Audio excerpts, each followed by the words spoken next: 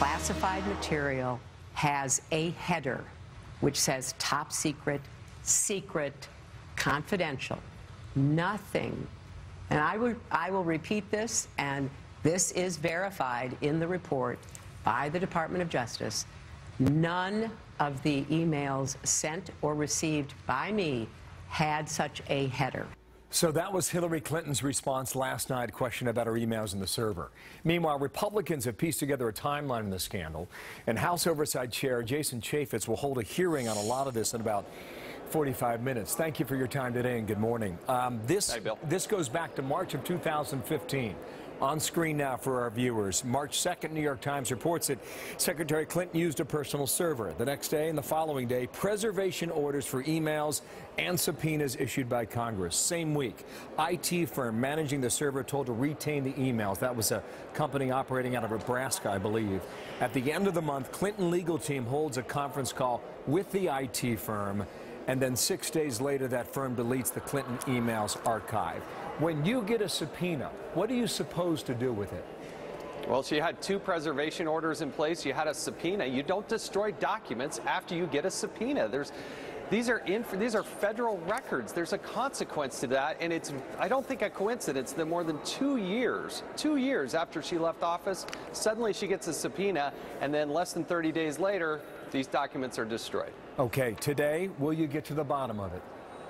Well, today we're going to look at the implications of, look, if you had a Freedom of Information Act request, a media request, if there was something that was put out uh, as a congressional inquiry, a subpoena, if Hillary uh, Clinton is holding four years of federal records and documents essentially at her house and with her attorneys, then none of those requests are filled. And so we want to know the implications of that. The Associated Press is them because you can't even get Hillary Clinton's uh, calendar at this point. That's how secretive it is. Democrats have put out an email exchange between Colin Powell and Hillary Clinton right before she took the job, suggesting that she was just doing what Colin Powell did. You've seen the email. Are they right? No, they're not right. To try to pin it on Colin Powell is just downright shameful.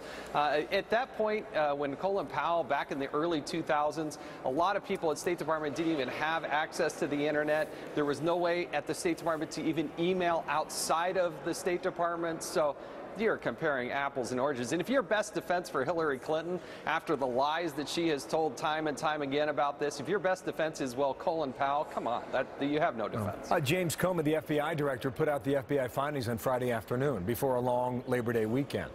There are some suggesting that this was wrong and should not have happened. He was hiding something. He's come out and said, listen, we don't play games. We don't do it. We put the report out when we have the information. What do you think about that? Well, I'm glad he put out some of it, but if it's unclassified, why not put out all of it? I mean, it's unclassified.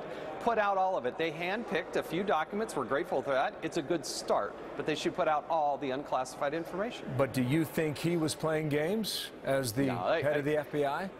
Uh, he says he he says he wasn't playing games. I'll take his word for it. It was you know Friday afternoon before Labor Day. I'm just glad they're out, okay? Um, but I want to see the rest of them, and they're unclassified. There's no reason to hold them back at this point. You've got an election in about 60 days. Can you wrap Not, this up before then?